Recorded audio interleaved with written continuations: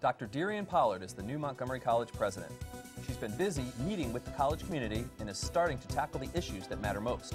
She joins us next to discuss what she thinks the future holds for Montgomery College and how she'll strive to make MC the most relevant community college in the country. A special edition of Campus Conversations is next.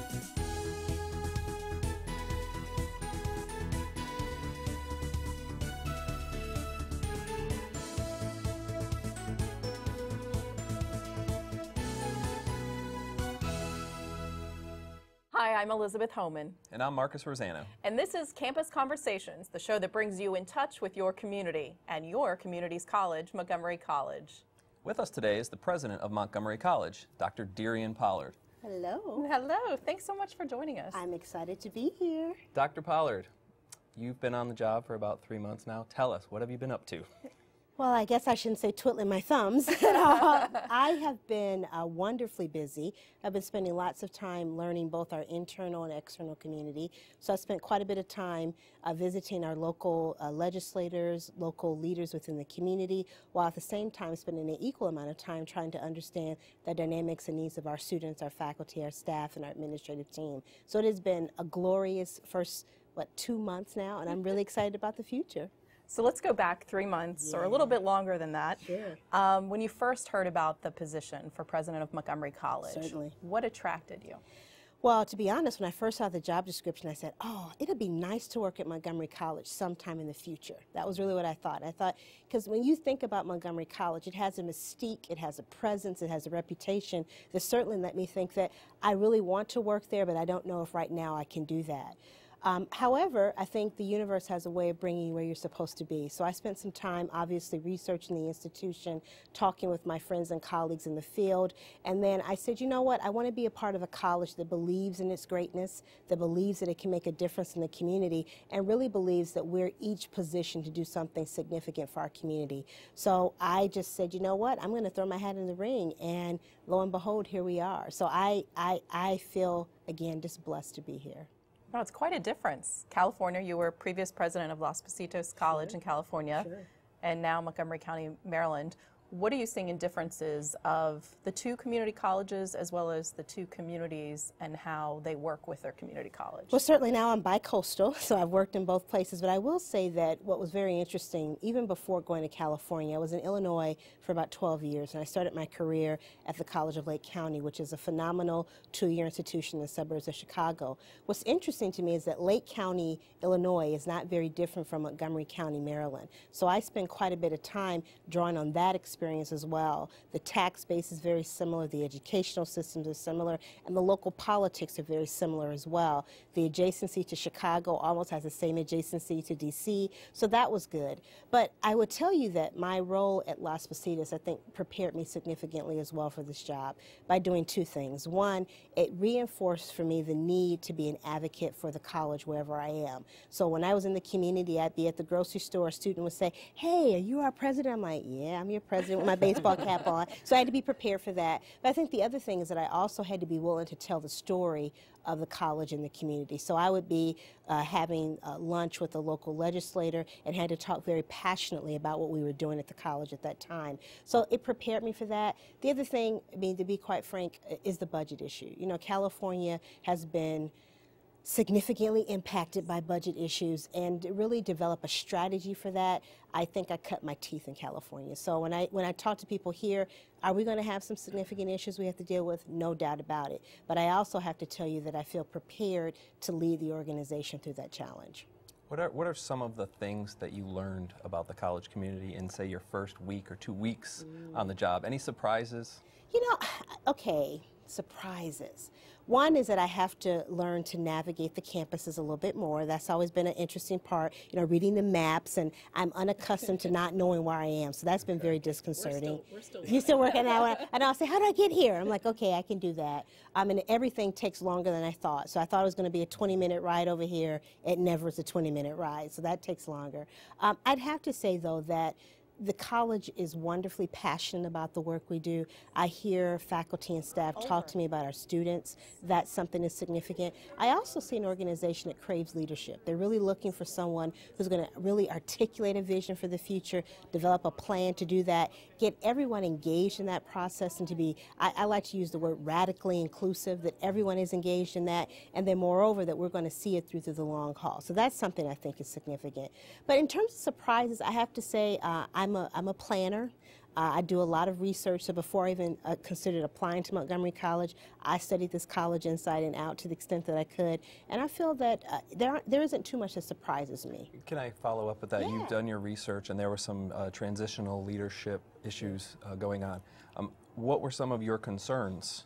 Um, I know that you researched it and saw some of the positive things that are going on, but what were some of the concerns about coming to the college? Well, I think, and I appreciate the question because I think it, one is courageous for you to ask it, and I thank you for that because I think that a lot of us right now, there are colleges across this country that are dealing with these, these issues. I can't think of a college of this size that probably at some point in its history has not had to deal with leadership changes or significant uh, challenges at some level. For me, though, um, I think what was interesting to me is to come to an organization after there had been a transitionary president. So Dr. Pinkney, I think, very clearly had a very clear agenda about what he was going to do coming in, and his job was to help prepare the college for a new person coming in.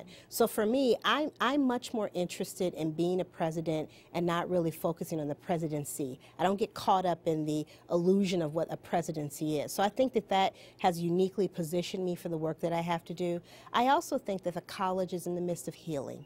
And I like to think that I'm a very nurturing person, and I think that that's a part of my role, and I can accept that and enjoy that role. So I, I think that the college, and to be quite frank, is also to tell the college to get its swagger back on. Okay, we we dealt with this issue. It's time to shake it off. You know what? We've done that. We've recognized we had an issue. The board, I think, took courageous steps to do the things that they had to do. The community is ready for us to move on. So it's a matter of our own consciousness. Shake it off. Let's move on. Thank you. You're welcome. When you're going out into the to the meetings and you're Yeah. meeting with faculty, you're meeting with staff, your background as a faculty member, starting out as a professor, how do you think mm. that helps you pr- either prepare for those meetings or or connect? Yeah. One, I think at the core of who I am, I am a teacher. And I think the beautiful part about that is that when we're talking about things that are happening in the classroom, I very clearly can relate it to my own experiences having been in the classroom. In fact, my first day I was touring, or one of my first days I was touring the Germantown campus, and we walked in, and I happened to see an English class, and the faculty member said, "Oh, come on in, come on in." So I walked in, and uh, I said, "What are you talking about?" And this was a developmental English class. They were talking about audience, and I said, "Oh," I said, "You know, when I taught audience, like 15 minutes later, I had taken over this lesson on art, but I remember that. I remember grading the papers. I remember what it's like to be worried about your students and figure out how to do interventions with them. But I've been a staff member. I've provided support to administrators. I knew what it was like to need to be heard, to understand that your value is significant within the organization and have people validate that. So for me, uh, I I believe that every experience I've had, and I think all of us, shapes us and prepares us for where we are. The key is that we have to recall that on a regular basis. So for me, I remember being a faculty member, I remember being an admin assistant someplace, and I remember very clearly what it was like to be a student on a college campus. And I use those experiences on a daily basis. I was going to say, being a student, that's something I've heard you say quite a bit about college, is where you really came into your own and that you really found what you were passionate about and what you mm-hmm. wanted to do. Tell us a little bit about your college You didn't- experience. Did you, did you have the goal to be the president of a college? Obviously, you, you became an English professor. What were your goals, like Beth was talking about, in Well, college? It's funny. Few of you have heard me talk. I've had several goals. First, I thought that I was going to be a hairdresser, hence all the new hairdos at the time. uh, I thought that I was going to be uh, a missionary because I grew up in the strong Black Baptist church. I thought that I was going to go out and be a minister. Uh, and then I decided I went to college thinking that I was going to be an attorney. So I had all these kind of different leanings. At some point, I always wanted to be a librarian because I loved books. Uh, I heard nanny too. yeah, well, that was that was when I decided I was going to drop out of college. You know, I, I was actually uh, in college for about a year and a half. I had been doing some nannying or babysitting for someone, and I was lost. I was a very typical college student. I kind of come to college for the wrong reasons. I was too busy, as I often say, I was too busy being in college and not being a student in college. There's a very, I was a very social butterfly. I had a good time in college. Uh, but as a result of that, I was lost and I was going through, I think, an identity crisis. So I thought, I'm going to drop out of school. I'm going to go become a nanny in New York and work for this rich family. I, this is my whole plan. Signed up, read all the, signed the papers, are prepared to do that. And I had this wonderful woman who I was actually babysitting for said to me, DeRionne, you are more than that. And I kind of paused, and she said, That's no slight to, if you really want to be a nanny, be the best nanny she could be. She said, But you are more than that. And you're scared to reach out and grab your blessing. And I was like, Oh my Lord. So that was, it was a powerful moment for me. And I think college, in a lot of ways, represents what those years are. You're supposed to be exploring things, you're supposed to be challenging yourself, you're supposed to be growing and stretching. And for me, it is no mistake that I am working in a college because I know exactly how I found myself there. And even my own professional career has been a constant unveiling in a college environment. So I, I probably will die in my office someplace at a college because I love what I do. I love what we represent. We have about a minute left before we go to a break, Yeah. but um, tell us who is DeRionne? DeRionne is a passionate person. She's a Scorpio, and she is uh, very much a Scorpio. Those of you who believe in astrology, um, I am. I love to laugh. Uh, I enjoy having fun. I believe in hard work, but I also believe in playing hard. Uh, DeRionne believes that each of us has the ability to change the world. I believe we're made better by the stories that become a part of who we are. And I think I believe deeply in what we do in community colleges. I cannot imagine doing another job in my life right now. That's a little bit about who DeRionne is. she also hates shoes and loves pajamas. and good tequila. That's a whole other subject. All right, we're going to take a break, but when we come back, we're going to talk more with Dr. Pollard. Stay with us. You're watching Campus Conversations.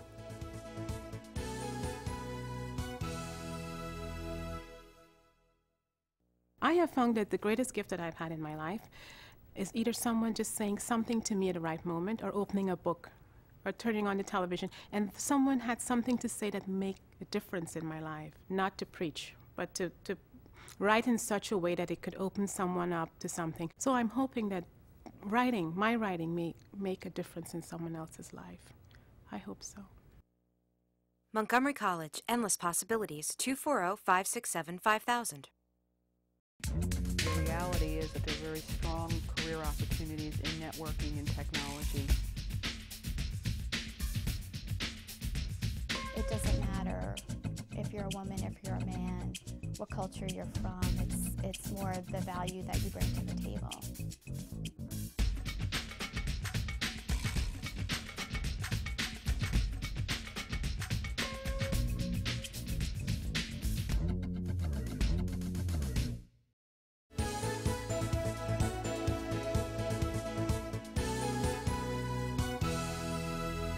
What I know for sure, in the core of who I am, about community colleges and Montgomery College, is that we can change the trajectory of an individual, we can transform the quality of life for a family, and we can enhance the intellectual, cultural, and economic essence of a community.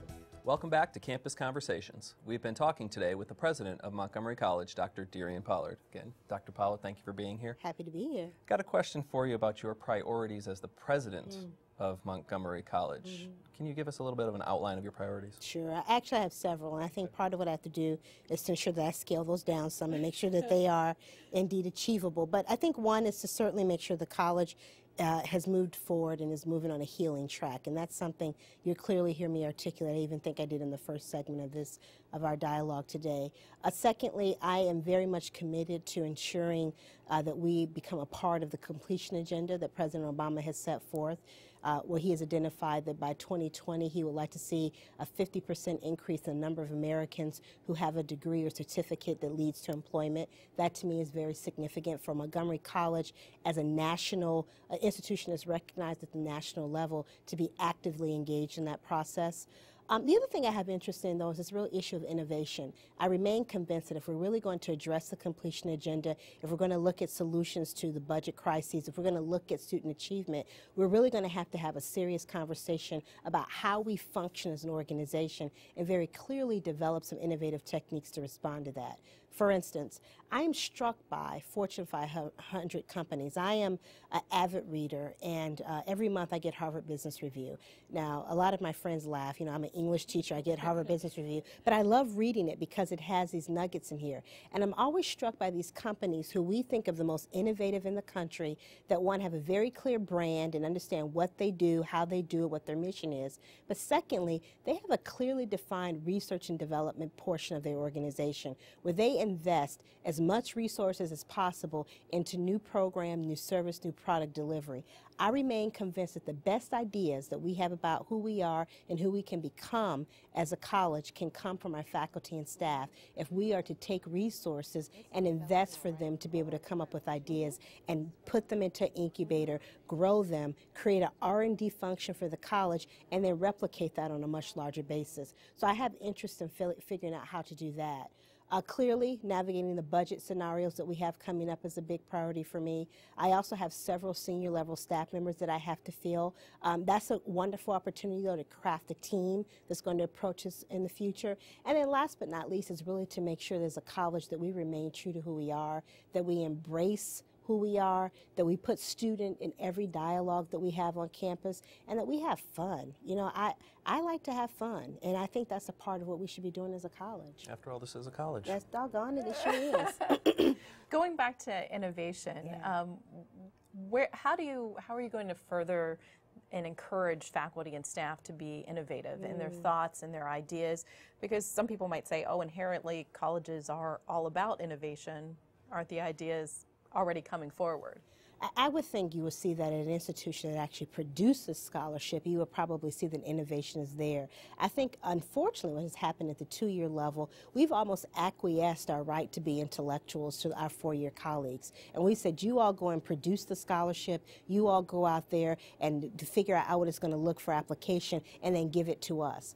I know Montgomery College faculty don't embrace that. I've already seen our faculty be innovative in that regard, but I want to scale it up on a different level. If we know that a significant number of our students are coming in underprepared in reading, writing, and math, the same ways in which we've done it will not last. And I'm seeing that our math faculty have already developed a, pro, a, pilot program on this very issue about how to provide instruction in a very different way.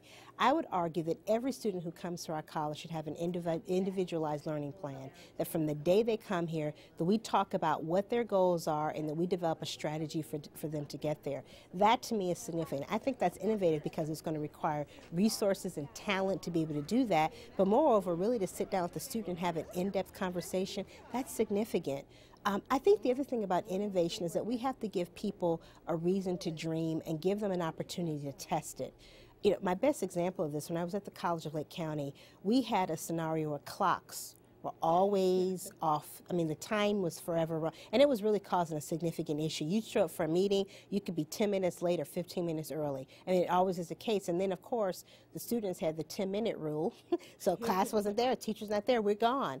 And I think we, we had a staff member who said, I actually think it was a math faculty member, I think I shared this already, said, mm-hmm. why don't we come up with this idea of the atomic clock and figure out how to use those within the classroom to help get the, it was a simple idea that none of us had even thought about who were in the administration. We simply, though, allowed this faculty member who knew this idea to bring it forward. There's lots of that across an organization. So how do we create spaces and places for that dialogue? That, to me, is what innovation is about. But I think some people might say that Innovation, though, requires resources. How are you going to do that in a difficult budget year? Well, I think we can do a couple things. One is that we need to go out and privately raise for it, which I think is a significant issue. I think the other thing that we have to do is that we have to look at how we allocate the current resources we have. I think that that's a very significant issue. And then last but not least, I think that we can look at trying to cut back in other areas.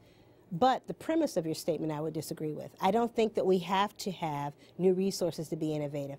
All of us can walk around and figure out little ways in which we can be more efficient and be able to deliver a better product simply by the way we do our work. We see it all the time, but we get caught up in this is how we've been doing it, this is how such and such did it before me. And the idea of simply saying, you know what, just pause Now, let's assess how this works and map it out. And to be quite frank, we might come up with a process improvement that might actually save money without using resources. And if we get caught up in the idea that everything's going to cost new money, then we would not grow as a college. Because I'm here to tell y'all, ain't no new money coming. Okay, so we've got to be very clear about using the resources we have.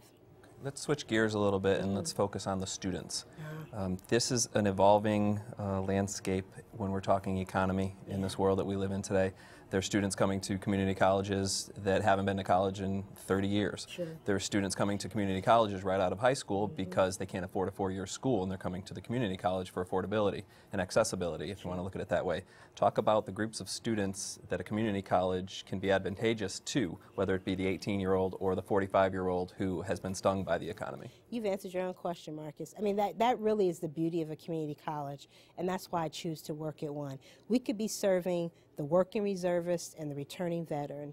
We could be serving the immigrant daughter and the native son. We could be serving the uh, freshly graduated college student and the recently laid off uh, manufacturer. We could be serving the high school student who's still uh, pursuing education and the senior citizen who says, oh, I want to take personal enrichment classes we could be serving someone who has a bachelor's degree from another country and they're wanting now to move into a different career choice by coming to this country. I mean, we have the gap. That's our mission. I mean, the, if we look, our mission, unlike I think a lot of other institutions, has both breadth and depth. It has meaning, it has significance, it has weight. So for me, the idea that when I hear people say, oh, should you change your mission as a community college, I, I, don't buy that because I know the lives that we change. I know the significance of that in a family.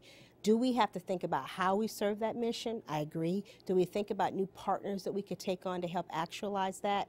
I think the worst thing we can do, though, is to buy into a level of academic elitism that says we can't serve different groups of students. I, I, I had the privilege of going out and visiting our faculty and staff out at the Wheaton, Wheaton campus, and I shouldn't say campus, but building where we have our many of our students who are GED, ESL, many of us who we might categorize as the least of these. And the reality is that I know that we can change their lives. We can do things that are significant for them and their families and their community. So this idea of the public good of education is very significant to me. But that's the beauty of a community college. We don't have a traditional student. And I reject the idea that we ever should have one. Right. That's a good question. Mm -hmm. Now, what about looking five years down the road? Yeah. road? You've been president for five years. You're looking back. How do you think you will have changed? The college will have changed. What will five years down the road look like? Well, I'm hoping I won't be like President Obama and my hair keeps getting grayer and grayer because I've made a commitment to some of my girlfriends. We're not going to start dyeing our hair, so we're going to see how that plays out. But I, I, think that one is that I will, I think, have a, a much um, when I, I my minor was religious studies when I was in college and was trying to work out a few things. but one of the things we talked about is this idea of how words have meaning and um, and to know someone. You know, you in the biblical sense, to know someone means you know them on an intimate basis. I'd like to be able to say that I know this college and this community on an intimate basis because I understand what we're doing and how we do what we do. I think the college would be better prepared financially. I think that we'll have a fiscal plan. Will it be a plan that's going to say we're going to continue to do things the way we have been doing? No, but I think we'll have a plan that people will feel that they're a part of. As a matter of fact, we'll have a new strategic plan for the college that positions us for the future, that's going to ask very sincere questions about how we execute the type of work we want to do. Um, I would also say that we have repositioned students as the center of everything that we do. And I'm not saying that we've completely put them to the side, but I think in the moment of these challenges we have now, it's a lot easier to talk about how this is affecting us versus how it's affecting our students. Yeah, me. So I, would like to spend some time making sure that, you know, we reverse the dialogue and make sure that we're talking about students. I think the other thing for me in five years, I want to say that we've made um, progress as an organization in meeting this completion agenda, that we have recognized that we are positioned uniquely for the future, and that we're being recognized for that both by our county, by our state, and our national bodies. That to me would be saying that we've done something good, and that my son is successfully in third grade by that point. So that'd be hey, good. That's the most important That's exactly it. At the end of the day, it really is. We're going to take a short break. When we come back, some final thoughts.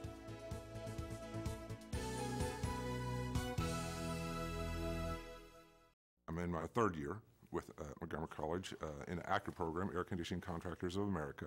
With the opportunities that's been provided me, I'm going to school. I'm going working with a very good company. They want you to uh, be highly trained, and Montgomery College provides that. To get a degree is very, very important. The piece of paper that you get with that, you can take with you anywhere, and no one can take it away once you get it. Montgomery College, endless possibilities, oh, 240 567 5000.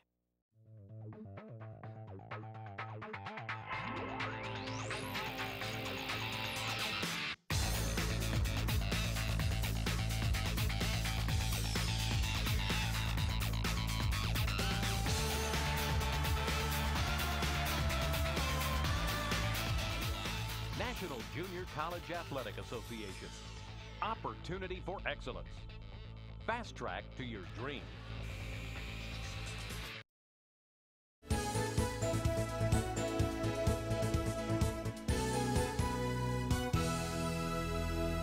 As such, my vision for Montgomery College is a simple one.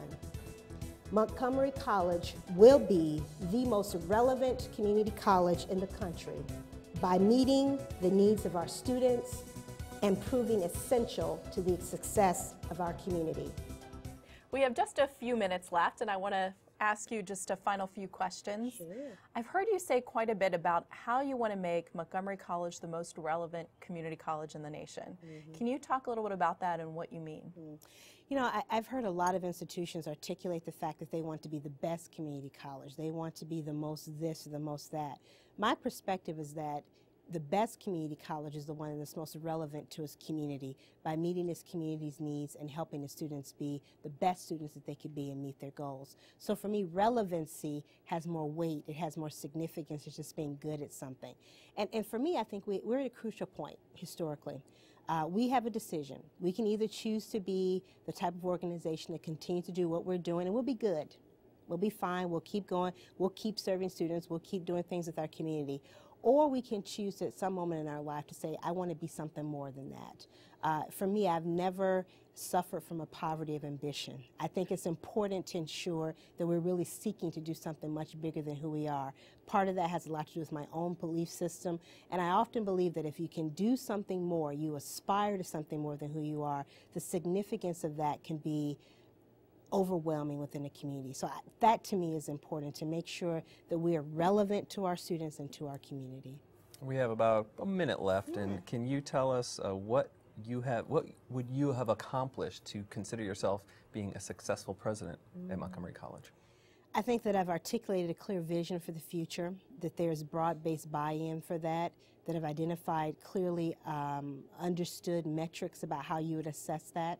Uh, I would say that the college i- is in a better position than it has been, and that there's a cohesive sense about our future. Uh, that we have an appropriate sense of urgency about the future.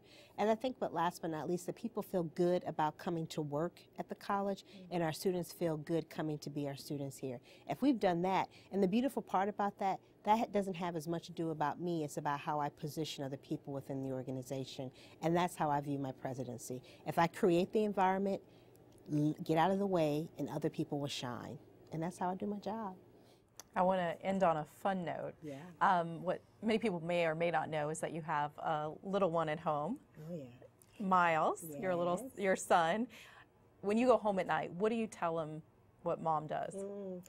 Well, first of all, when I, if, if I can get in the door, because he meets me at the door every day, um, he'll say, "What did you?" He'll, he'll say, "Mama, how was your day?" And I said, "My day was good. How was yours?" He said, "My day was great." And he commences to tell me about Luke and Ian at school, and that to me is about what's the most important part of the day.